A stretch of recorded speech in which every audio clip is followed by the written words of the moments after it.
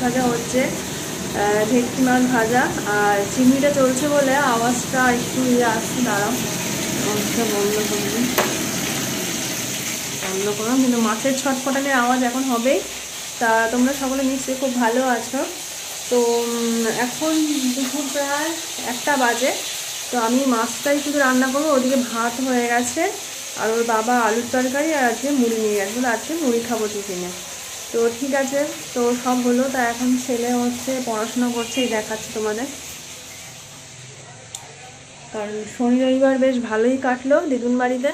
কোনো, নো পড়াশোনা অনলি আনন্দ, তো সবারই হতো, আমাদেরও হতো।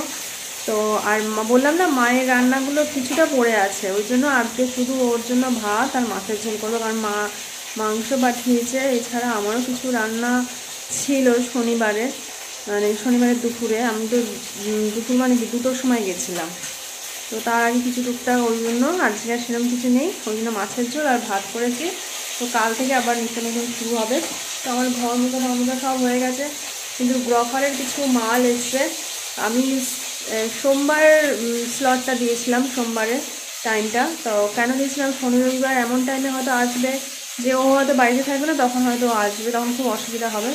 তো গ্রফারে এই জিনিসটা খুব ভালো যে আমি আমার নিজের পছন্দ মতো টাইম চুজ করে দিতে পারব। তো এই দেখো, এখানে এসছে তাই সেটাকে তো অনেকক্ষণ এসছে। আমি নটা থেকে একটা টাইম দিয়েছিলাম। তো এসে চেক করলাম লম্বা লিস্ট তো এখন ওগুলোকে এটাকে এখন বার করব। মোটামুটি ছেঁড়া হয়ে গেছে। কারণ ছেঁড়া হয়েছে কেন? ওরা আবার চেক করে নেয় যে আমাদের মালটা ঠিকঠাক কোয়ান্টিটি দিয়েছে কিনা। মানে কোয়ান্টিটি না। মানে আমি তো ধরো কুড়িটা মাল অর্ডার দিয়েছি, সেই কুড়িটা মালই কুড়িটা আছে কিনা? বলে খাবার দাবার তো নো নিটা রিটার্নেবল এগুলো হয় না। তো তাহলে তোমাদের দেখাই, আমি কি কিনেছি।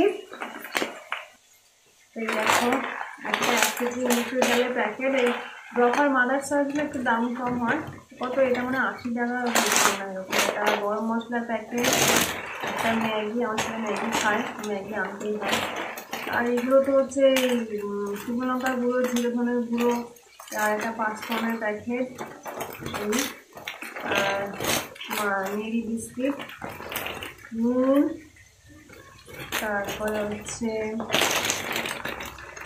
এই শুকনো লঙ্কার গুঁড়ো, এগুলো তো প্যাকেট প্যাকেট এগুলো তো ছড়িয়ে আছে তো, আর এই তেলের প্যাকেটটা এখনও খোলা হয়নি, একটা সাদা তেল, আর দুটো হচ্ছে সর্ষের তেলের প্যাকেট আছে। ও আর একটা এটা হচ্ছে অফারে ছিল। যে দুটো কিনলে কত টাকা যেন ছাড়, আর এখন এই টোয়েন্টি সিক্স জানুয়ারি উপলক্ষে অনেক ছাড় পা দিচ্ছে তো আমার, আমি প্রায় দু মাস অন্তর অন্তর অর্ডার দিই। কারণ যা কেনা হয় দু মাসেরও বেশি চলে যায় আমার। প্রায় সে আমি নভেম্বর অর্ডার দিয়েছি, আবার এই সেই অর্ডার দিলাম। ওটা, ওরা পরি, ঠিকঠাক দেয় সব কিছু মানে কোনো না। আমি একবার বিগ বাস্কেটেও অর্ডার দিয়েছিলাম। তো এবার আমি ব্রফারটাই বেশি বিগ বাস্কেটে দিই না কারণ বিগ বাস্কেটে একটু জিনিসের দামগুলো একটু বেশি বেশি। আর মানে হাই ফাই দামের জিনিস পাওয়া যায়। তো চলো আমি তো দেখালাম। এখন আমি আমার বাকি কাজগুলো চেয়ে আবার তোমাদের সাথে আবার কথা বলব।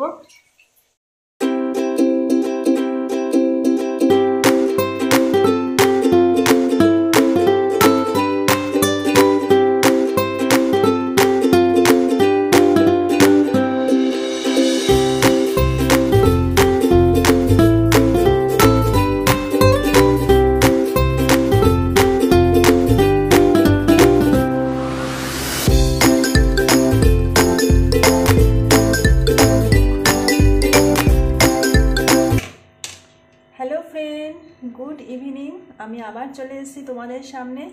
তো এখন আমি এক বাটি দুধ জাল দিচ্ছি, কারণ হচ্ছে কালকে রোববার ছিল, তো আমি তো ছিলাম না হলে দুধ জমে গেছে। তো ভাবছি যে আজকে কিছুটা দুধ তো ছেলেকে খাওয়াবো, কিছুটা দুধ চায়ের জন্য রেখে দেবো কারণ সকালবেলা। আর কিছুটা বাকিটা দুধতে ক্ষীর করব। তার কারণ দেখো, আমি সে আগের সপ্তাহে সেই বিয়ে বাড়ি টিয়ে বাড়ি গেছে, ফলে বুঝতেই পারছ, খাওয়া দাওয়া করে দেখো পুরটার ওপরটা পুরো গুড়ের রঙটা পুরো সাদা হয়ে গেছে। একদম পুরো শুকনো ঝলঝল হয়ে গেছে। গন্ধটা এখনও কিছু হয়নি ভেতরে। তো ভাবছি যে এটা একটা কিছু সদ্গতি করে দেবো। তো আমার মা না এরকম ক্ষীরের মধ্যে ওই নারকেলের পুর দিয়ে মিশিয়ে একটা পিঠে করে। তো ভাবছি যে ওইটাই করব। তো এইটারও ইউজ হয়ে যাবে দুধটাও আমি দুধ এমনি থাকলে ছানা ঠানা করে দিই। তো ভাবছি যে ক্ষীর করব। তো ক্ষীর করতে তো টাইম লাগবে, এখন দুধটা পুরো শুকাতেও টাইম লাগবে। তো আর দেখছি এখন কি করি। তো তোমাদের সাথে সেটা শেয়ার করলাম, আর ক্ষীরের পর কি করব সেটাও দেখাবো তোমাদের। তো এখন এই দুধটা গরম হোক দুধটা জাল হোক, তারপরে ছেলেকে খাওয়াই। ছেলের দিকে পড়তে বসে, ওর বাবা এখনও আসেনি অফিস থেকে, ওর বাবাও আসবে। তো দেখি বন্ধুরা এখন কি করা যায়। আর এদিকে দুধটা ফুটছে, তা আমি ভাবছি আজকে এই রুটিটাও করে ফেলি, কারণ দুধের সামনে এতক্ষণ বসে থাকলে রুটিটাও করা দেরি হয়ে যাবে। তো রুটিটাও হয়ে যাবে ওইদিকে দুধটাও ফুটে যাবে ওই উনুনটায়। আমি দুধটা বসিয়ে দেবো। ওই মধ্যে আসলে ছেলে মাছের ঝোলটা রয়েছে। তো শীতকাল তো, ওই জন্য আমি আর ফ্রিজে ঢোকাইনি। তো এখন আর দেরি করব না, ওদিকে ছেলেকে দুধও দিয়ে দিই, আর আমি এদিকে রুটিটাও করে ফেলি।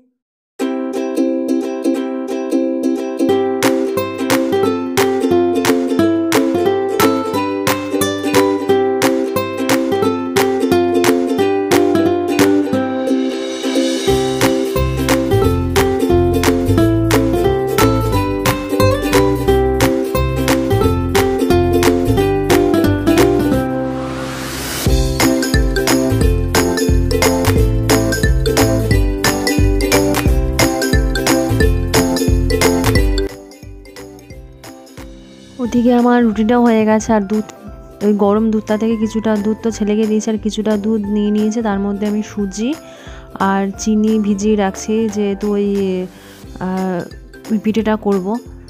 তো এটা গরম দুধ তো ওই জন্য চিনিটা তাড়াতাড়ি গলে যাবে। আর ওদিকে হাফ দুধের ক্ষীরও হচ্ছে।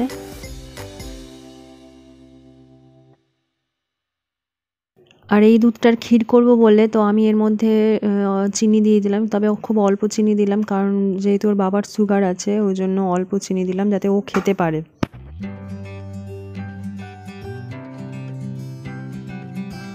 ও আমার দুধ প্রায় অনেকটা কমে এসছে, আর দুধের কালারও চেঞ্জ হয়ে গেছে, প্রায় ক্ষীর ক্ষীর হয়ে এসছে। তো আমি এই মধ্যে ওই নারকেলের পুরগুলো দিয়ে দিলাম আস্তে আস্তে। তো তারপরে কন্টিনিউয়াসলি নাড়াতে হবে, না হলে কিন্তু লেগে যাবে তলায়। তো দেখো আমি দিয়ে নাড়িয়ে, নেড়েই যাচ্ছে। আর পাশে যে ওই চাচনিগুলো ওগুলোও চেঁচে দিচ্ছি, তাহলে আরও টেস্ট হবে। তো এইভাবে আমাকে নেড়ে যেতে হবে। যতক্ষণ না ওটা পুরো শুকিয়ে আসছে। দেখো এখন প্রায় মোটামুটি অনেকটা শুকিয়ে এসছে। এই মুহূর্তে আমি আরেকটু পরই এবার গ্যাসটা বন্ধ করে দেবো। তো ঠান্ডা হলে ওটা আরও জমে যাবে। দেখো আমি সারাশি দিয়ে, এটা কন্টিনিউয়াসলি নেড়ে যাচ্ছি। আর ওদিকে যে আমি গরম দুধে যে চিনি আর সুচিটা মিশিয়ে রেখেছি মোটামুটি চিনি গলে গেছে। তো আমি এখন এর মধ্যে পরিমাণ মতো ময়দা মেশাচ্ছি। ময়দাটা ভালো করে মিশিয়ে নিচ্ছি যেন ব্যাটারটা প্রায় ঘন হয়ে যায়। আর দেখব যাতে হাতে যাতে ওই সুজির দানাগুলো যাতে না বাঁধে। দেখো আমার কোনো হাতে সুজির দানাগুলো বাঁধছে না। তো ঠিক এই রকমই ঘন ব্যাটার বানাতে হবে। আর আমি ওই বেগুনের মুখটা কেটে নিয়ে আর একটা ফ্রাইং প্যান নিয়ে নিয়েছি। ওই ফ্রাইং প্যানে আমি ঘিটা গ্রিস করে নিচ্ছি তো আমি করব আজকে পাটি সাপটা নারকেল, পুর, ক্ষীর, কাম পাটি সাপটা তো এই দেখো আমি ব্যাটারটা দিয়ে দিচ্ছি। এবার এক এক করে আমি পাটি সাপটাগুলো গড়ে নেব। তো এটাকে ভালো করে স্প্রেড করে নিলাম চারিদিকে। এরপরে আমি ওই পুরটা দিয়ে দেব। ওই যে ক্ষীর, নারকেল দিয়ে যে পুরটা করেছি, ওইটা আমি দিয়ে দেবো। তারপর এক এক করে আমি এইভাবে করে নেব।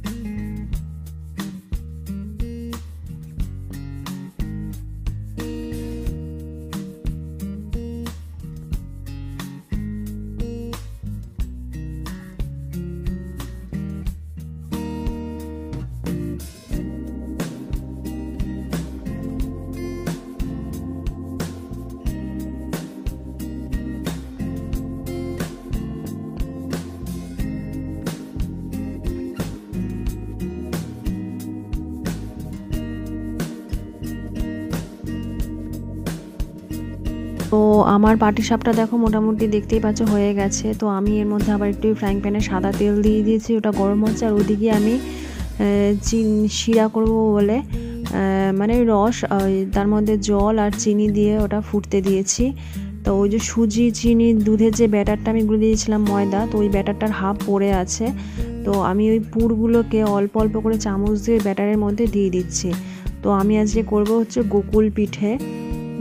তো ওই ব্যাটারটা দিয়ে, এবার ওর ওই পুরগুলোর ওপর দিয়ে, এবার ওটা আমি আস্তে আস্তে ভেজে নেব। তো তেল মোটামুটি আমার গরম হয়ে গেছে, এবার ওই যে ওই ব্যাটারের মধ্যে যে আমি নারকেল আর ক্ষীর পুরগুলো দিয়েছিলাম, সেগুলো আমি এখন এক এক করে চামচ দিয়ে তুলে তুলে দিয়ে দিচ্ছি। তো এগুলো একটু লাল লাল করে ভেজে নিতে হবে। তারপরে আমি ওই যে রসটা পাশে ফুটছে, ওটার মধ্যে আমি দিয়ে দেবো। তো আমার ওটা ভাজা হচ্ছে, তো আমি তার মধ্যে আমি একটু গরম তেল ওর উপর দিয়ে ছিটিয়ে দিচ্ছি যাতে আমার তোলার সময় যাতে লেগে না যায়। তো এক পিঠ মোটামুটি লাল হয়ে গেছে, তো আমি উল্টে দিচ্ছি। পরের পিঠ যাতে একটু ভালো করে ভাজা হয়।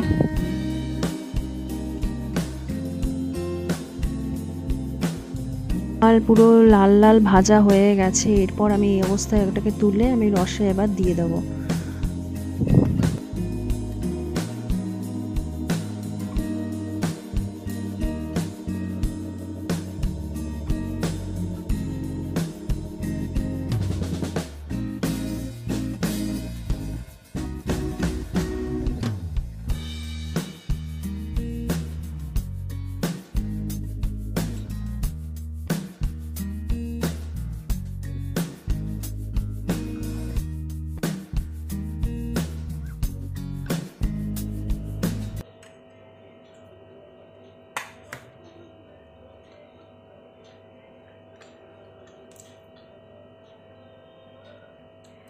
দুধটাকে ক্ষীর করলাম।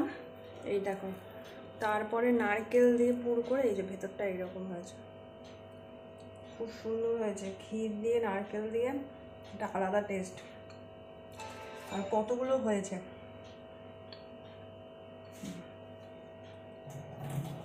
হাতটা ধুয়ে নিলাম, এঠো তো। এক, দুই, তিন, চার, পাঁচ। পাঁচখানা। আর এদিকে হচ্ছে বকুল পিঠে।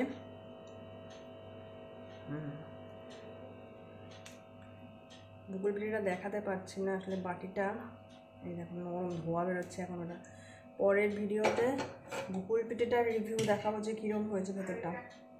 মানে ওই পুরটা আমার পুরো শেষ হয়ে গেছে, ক্ষীর মানে দুধও শেষ হয়ে গেছে, তো এতগুলো পিঠে হলো। একটা বাবা খেয়েছে, একটা আমি খেয়েছি এখনও এতগুলো পাটি সাপটা রয়েছে। বুকুল পিঠেটা এখন খাওয়া যাবে না, কাল সকালে খাব।